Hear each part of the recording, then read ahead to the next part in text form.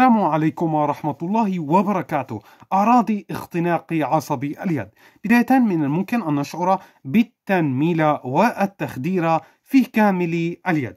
وأيضا من الممكن أن تصل إلى عدم الشعور والإحساس في أي منطقة من اليد بحيث يكون كامل اليد فاقدا للشعور بأي وخز أو حرارة أو برودة. وأيضا شعور بالحرارة الشديدة آه، أو حرقان واحتكاك في اليد. ومن الممكن أن تصل إلى الإحساس بالوغز الشديد في اليد كالضغط بالدبابيس مثلا.